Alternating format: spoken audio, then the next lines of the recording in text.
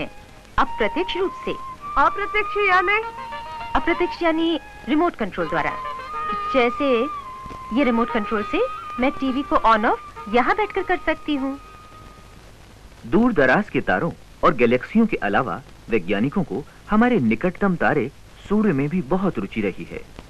सूर्य के बारे में और अधिक जानने के लिए अंतरिक्ष में एक प्रयोगशाला स्काई लैब भी भेजी गई।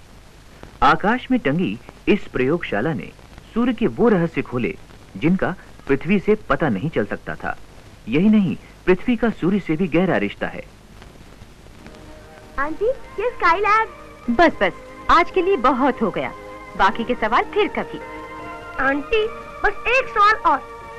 ये चंद्रमा रसगुल्ले जैसा दिखता है है ना? हाँ। दिखता तो है। आ, Mm-hmm.